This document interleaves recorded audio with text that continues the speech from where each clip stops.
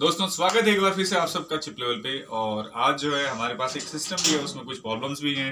अपन देख रहे हैं कि कुछ नए तरीके का मतलब एज ए ओल्ड टाइप का बायोस है, नया तो अपन ने देखा ही है। वो थोड़ा सा ओल्ड टाइप का है। अपन चाहते हैं कि दो, चार, पाँच बायोस अपन अच्छे से समझ लें डेस्कटॉप का या लैपटॉप का। तो हमारे साथ जो बायोस की सेटिंग की दिक्कतें आती हैं, वो नहीं आएँगी। इसके लिए आपके पास ये जानकारी ज़रूर होनी चाहिए। क्योंकि अलग अलग सिस्टम में अलग अलग तरीके के बायोस आते हैं, उनकी सेटिंग भी अलग अलग होती है। हाँ ये अलग चीज़ है कि सारे ऑप्शन जो है, घुमा फिरा के एक जैसे ही होते हैं, लेकिन वो सेटिंग के जो ऑप्शन होते हैं, इधर के उधर दे देते हैं तो हम कंफ्यूज हो जाते हैं। तो अभी जो है, हमारे पास एक डेस्कटॉप सिस्टम है, उसमें हार्ड डिस्क नहीं डिटेक्ट हो रही थी, यही समस्या के साथ आया था तो मैंने सोचा कि क्यों ना उसके बायोस को आप लोगों के साथ शेयर किया जाए। तो चलिए कंप्यूटर स्क्रीन पे चलते हैं और देखते हैं बायोस के बारे में। तो ये जो है, हम बायोस ओपन कर चुके हैं। एक्चुअली इस सिस्टम में डिलीट बटन से ओपन हुआ था बायोस इसको हमने ओपन कर लिया है। और सबसे पहले मेन पे आते हैं। मेन पे आते हैं तो यहाँ पे आप देख सकते हैं सिस्टम ओवर ओवरव्यू दिया हुआ है। यहाँ पे जो है सिस्टम के बारे में सारी इन्फॉर्मेशन दी हुई है। यानी बायोस जो है एम बायोस लगा हुआ है इसमें। वर्जन उसका दिया हुआ है। बिल्ड डेट दिया हुआ है। यानी दो हज़ार सत्रह का बना हुआ है। आई डी इसकी हुई प्रोसेसर जो इसमें लगा हुआ है कोर आई थ्री सी है। और यहाँ पे नीचे आते हैं, उसकी स्पीड है। देख सकते हैं आप। 3.66 मेगाहर्ट्ज उधर ऊपर दिया हुआ, उसको कन्वर्ट करके 3.07 गीगाहर्ट्ज और नीचे आते हैं तो सिस्टम मेमोरी इसमें इंस्टॉल है चार जीबी की। और उसके नीचे टाइम और डेट का सेटिंग का आपको ऑप्शन यहाँ पे दिया हुआ है। इसके लिए आप जनरली यदि टाइम डेट सेट करना चाहते हैं तो सिंपली कीबोर्ड से जो है आप आराम से टाइप कर सकते हैं। बाकी इसमें और दूसरा कोई चेंजिंग के लिए दिया नहीं है। एडवांस में आते हैं। एडवांस में आते हैं तो सीपीयू कॉन्फ़िगरेशन लिखा पूरा सीपीयू का कॉन्फ़िगरेशन दिया हुआ है। उसके बारे में L1, L2, L3 जो भी कैश मेमोरी है उसकी स्पीड है क्लॉक स्पीड क्या है फ्रीक्वेंसी क्या है सारी चीज़ें यहाँ पे दी हुई सीपीयू के बारे में। और यहाँ पे नीचे आते हैं तो सीपीयू से संबंधित ही चीज़ें हैं आप चाहें तो उनमें जो भी चाहें पढ़ सकते हैं चेंज कर सकते हैं। बाकी इसमें वैसे चेंज करने की ज़रूरत होती नहीं है। तो इसमें ज़्यादा कुछ है नहीं तो अपन इसके बाहर आ जाते हैं और आईडी कॉन्फ़िगरेशन में चलते हैं।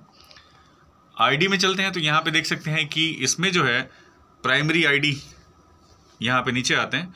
यहाँ पे कॉन्वेक्शन सेटा और आईडी का दिया हुआ है, इसमें ऐसा कोई दिक्कत है नहीं। और नीचे जब यहाँ पे जो ऑप्शन दिए हुए हैं, यहाँ पे देख सकते हैं प्राइमरी आईडी मास्टर डिटेक्ट नहीं है। प्राइमरी आईडी स्लेव यानी एक आईडी जो हार्ड डिस्क या आईडी पोर्ट होता है, उसमें हम मास्टर और स्लेव यानी दो चीज़ें लगा सकते हैं। साटा में हम जनरली एक कनेक्टर में एक ही लगाते हैं, एक ही लगेगा ही उसमें, लेकिन जो आईडी केबल होती है, उसमें हम दो चीज़ें लगा सकते हैं, एक को मास्टर और एक को स्लेव अपने को बनाना पड़ता है। और मास्टर और स्लेव कैसे बनाते हैं, ये आप पीछे की वीडियो में जाके देख सकते हैं हार्ड डिस्क के बारे में जहाँ पे डिटेल से बताया हुआ है।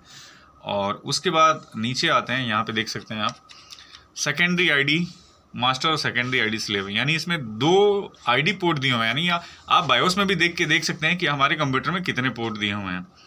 और नीचे आते हैं थर्ड आईडी मास्टर ये भी डिटेक्ट नहीं है।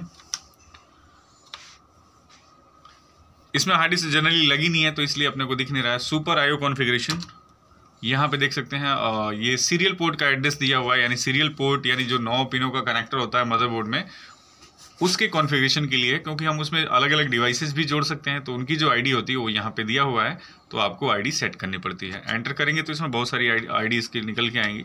तो जो हम डिवाइस जोड़ रहे हैं, वो आपको यहाँ पे सेलेक्ट करना होता है। यानी जो भी चीज़, जैसे मान लो कि कोई हम सॉफ्टवेयर के लिए डोंगल ही जोड़ रहे हैं तो उस जो डोंगल की आईडी होती है, यहाँ पे जो दिया हुआ है, उसके अकॉर्डिंग अपने को सेलेक्ट करना होता है। बाहर आते हैं। ए सी पी आई कॉन्फ़िगरेशन यहाँ पे आते हैं तो ये देख लीजिए general A C P I configuration में अपन चलते हैं क्या क्या है। यहाँ पे भी अपने काम का नहीं है, काम की ज़रूरत इसमें है नहीं जनरली यूज़ हमारे आता भी नहीं है। एडवांस इस ए सी पी आई कॉन्फ़िगरेशन में चलते हैं, यहाँ पे भी ऐसा कुछ भी नहीं है जो हमारे काम का हो। Chipset A C P I configuration में चलते हैं, यहाँ पे भी आप देख सकते हैं कि ये भी हमारे मतलब विशेष काम का नहीं है, इसलिए सारा बंदी पड़ा है। बाहर आते हैं और A S C I configuration में चलते हैं। यहाँ पे देख सकते हैं कि कोई डिटेक्शन नहीं है ए सी एच पी आई जितने भी हैं।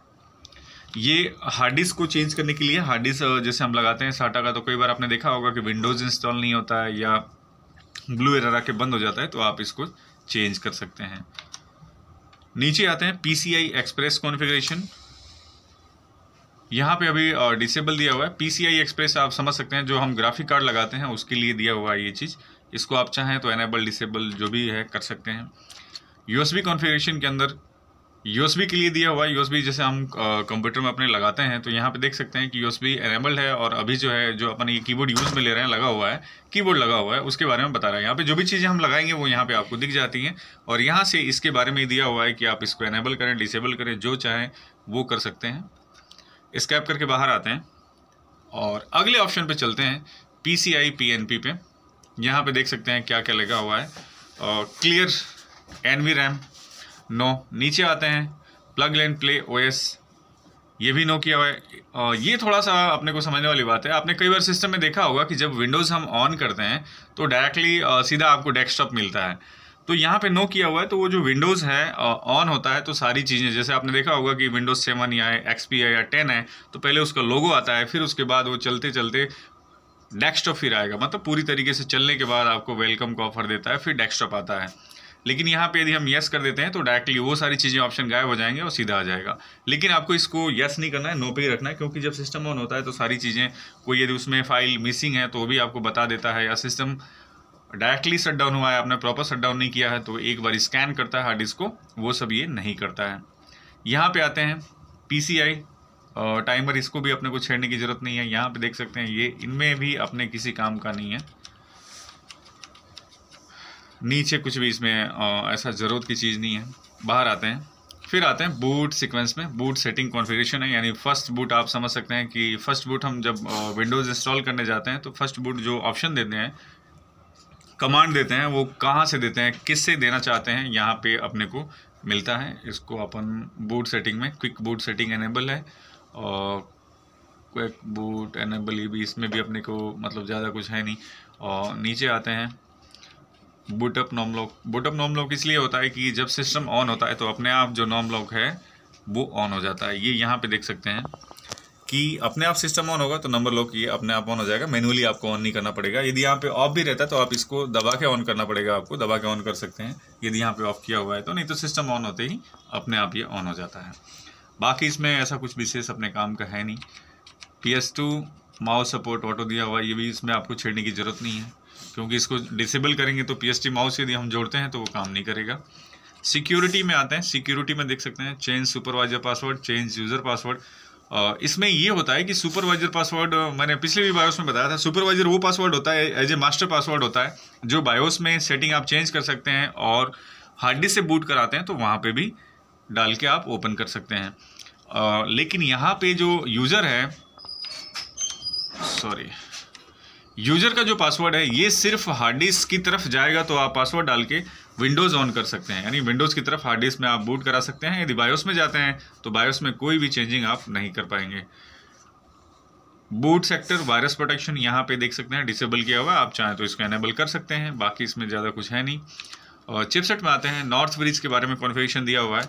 अब यहाँ पे आप ये बता देता हूँ कि बहुत सारे लोगों का ये कन्फ्यूज़न होता है कि नॉर्थ ब्रिज में क्या है साउथ ब्रिज में क्या है। तो आप यहाँ से आसानी से पढ़ सकते हैं और समझ सकते हैं। किसी से आपको माथापोड़ी करने की या पूछने की, जांचने की ज़रूरत नहीं है। नॉर्थ ब्रिज में क्या क्या चीज़ें होती हैं, यहाँ पर आप देख सकते हैं। पूरी चीज़ें आपको यहाँ पर बताई हुई है कि ये किस चीज़ किस किस चीज़ को कंट्रोल करता है। यहाँ पे आप देख सकते हैं वीडियो फ़ंक्शन कॉन्फ़िगरेशन मतलब सारा यहाँ पे दिया हुआ है। ये सारी चीज़ें आप यहाँ से समझ सकते हैं। वैसे ही साउथ ब्रिज में आते हैं तो साउथ ब्रिज के अंदर क्या क्या है, ये भी आप देख सकते हैं। यूएसबी फ़ंक्शन इसी से कंट्रोल होता है। ये सारी चीज़ें यहाँ पे जो जो दी हुई हैं, ये सारे देख सकते हैं कि ये साउथ ब्रिज से कंट्रोल होती हैं। और लास्ट में जो ऑप्शन है एग्ज़िट का सेव एंड एग्ज़िट यानी जो भी चीज़ें आप चेंज किए हैं, वो सेव हो जाएगा। और यहाँ पे सॉरी एक मिनट हट गया। और नीचे आते हैं तो यहाँ पे देख सकते हैं सारी चीज़ें। Discard change discard changes and load optimal default यानी आप जो है कोई भी सेटिंग ऐसा लगता है कि आपने कुछ ज़्यादा ही छेड़ दिया है तो इसको डिफ़ॉल्ट भी कर सकते हैं। और इस तरीके से आप बायोस को आसानी से कॉन्फ़िगर कर सकते हैं। और ज़्यादा वैसे इसमें कोई दिक्कत होती नहीं है। कुछ चीज़ें ऐसी होती हैं जिसको हमें कॉन्फ़िगरेशन करने की ज़रूरत होती है। बाकी ये डिफ़ॉल्ट सेटिंग होती है। जो मेन मेन चीज़ें हैं, वही अपने को ध्यान में रखना है, जो मैंने आपको बताया है। और भी बाकी के बायोस भी अपन पढ़ते रहेंगे धीरे धीरे एक एक करके। तो अभी की वीडियो में फ़िलहाल इतना ही। मिलते हैं जल्दी अगली वीडियो के साथ में। धन्यवाद।